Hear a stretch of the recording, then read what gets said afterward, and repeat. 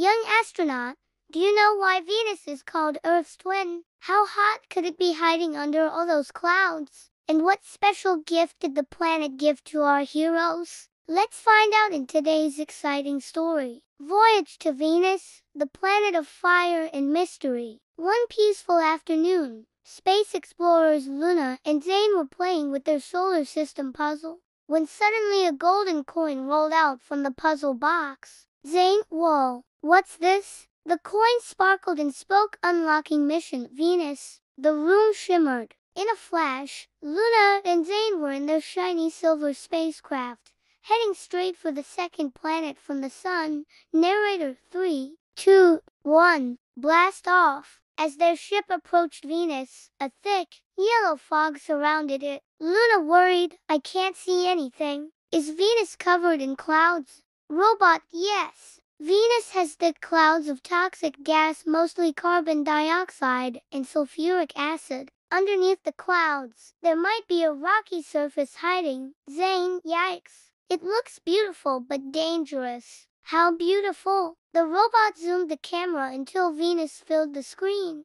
Its swirling clouds hid most of the planet, but they could see some bright spots shining through. Suddenly, the ground beneath their ship began to shake. Robot, uh-oh. We're entering Venus's super thick atmosphere. Brace yourself, little explorers. It'll get bumpy. Whoa. The ship dodged a huge chunk of rock hurtling toward it. Robot, welcome to Venus's super slow orbit. It takes Venus 243 Earth days to go around the sun just once. So you can imagine how long these rocks have been hurtling around.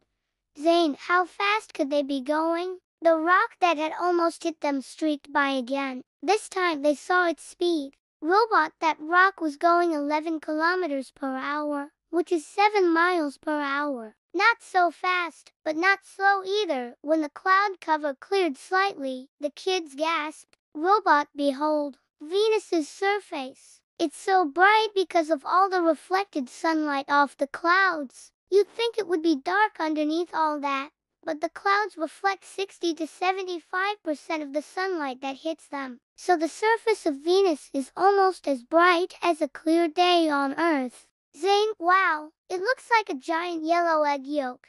Suddenly, the radio crackled. Robot warning surface temperature for 65 degrees Celsius, 869 degrees Fahrenheit, hotter than Mercury. Luna is wide, but Mercury is closer to the sun.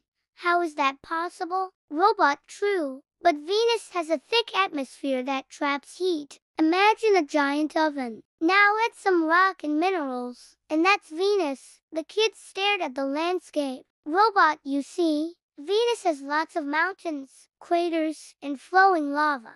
Could you live on Venus? Luna thinking, no way. It's too hot and mysterious. Robot, good thinking. Luna, not even the toughest animals or plants could survive on Venus. Suddenly, the sky flashed. Robot, oh dear, a flash of lightning. Looks like Venus has a storm. Luna, could it be hiding rain? Robot, not likely. Storms on Venus cause powerful lightning, but it rains sulfuric acid. It's extremely dangerous. Boom. A bolt of lightning struck nearby. Robot, quick. Let's zoom away from the storm and land on Venus. The kids hovered their ship above a rocky, orange surface filled with mountains, craters, and glowing lava. Below them, tall spires of rock jutted up through the clouds. Lush green mountains dominated the horizon, and wide plains stretched across the lower half of the planet. Robot Venus is Earth's closest neighbor, yet these landscapes are very different from each other. Venus's gravity is also similar to Earth's, but instead of water, there's a lot of volcanic activity. Even though Venus is Earth's sister planet, it's a very different place. Venus may look like a beautiful blue marble from far away, but it's really an inferno covered in clouds. As the kids looked down at the surface, something strange caught their eye. There were faint streaks across the planet's surface, almost like roads or paths. Robot, those streaks are actually long, deep cracks in Venus's crust. They're pretty cool,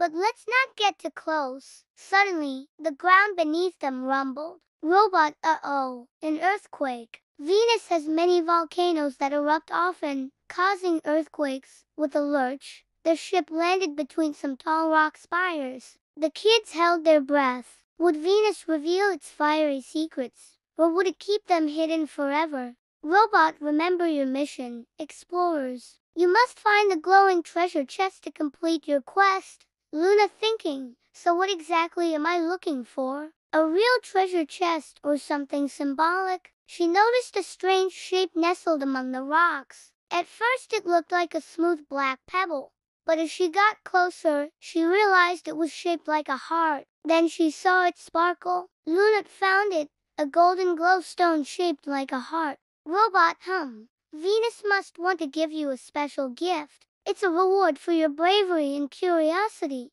Zane, I think Venus was just showing off its beauty and power, but I wouldn't mind living here, at least for a while. Robot, don't forget, it's 465 degrees Celsius, 869 degrees Fahrenheit, or more than four times hotter than Mercury. I couldn't agree more. As they admired the golden glow stone, a voice echoed inside their helmets. Robot, this planet is full of surprises but it's time to return home. The golden glow stone will help you remember your adventures on Venus. Suddenly, the ground shook again. A huge mountain peak split in half, sending rocks tumbling down its slopes. Robot, looks like another earthquake. Better leave before Venus shakes things up again. The kids hopped into their ship and fastened their seatbelts. With a roar, they blasted off Venus and headed back to Earth. Back in their room, the puzzle piece for Venus now glowed.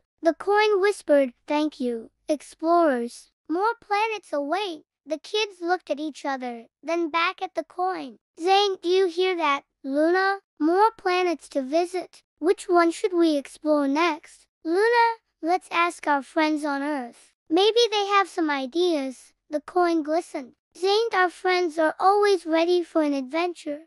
Just imagine the amazing things we'll discover together. We might even meet new friends along the way. Luna, just remember to bring enough snacks. Who knows what kind of treasures we might find? Zane, I hope our next stop is Jupiter, the biggest planet in the solar system, or maybe Neptune with its beautiful blue rings. It's hard to choose. Our solar system has so many amazing places to visit. The kids looked up at the glowing puzzle pieces on the ceiling. Each one represented a different planet in the solar system. Luna, we've only explored a small part of our solar system. Who knows what secrets the planets are hiding? There are so many mysteries out there waiting for us to solve.